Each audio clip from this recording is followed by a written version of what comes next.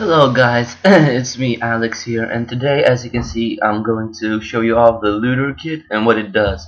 So uh, it costs about 4 to 5 bucks and you get this rogue mask which increases the chances of you getting a good drops like look I got a Bandos chest plate and uh, two Dharok's items and a crystal shield a whip and I got everything and I still got 50 seconds of the game left to loot. So uh, I heavily suggest to buy it because it's a good combination if you use looter and tainted because uh, then you can uh, get good items and then just start raping people in deathmatch. Uh, but uh, yeah it's a really good kit as I said look I got rune boots too. Very nice and very good so uh, I suggest you to buy it and I'll see you guys in the next one. Later guys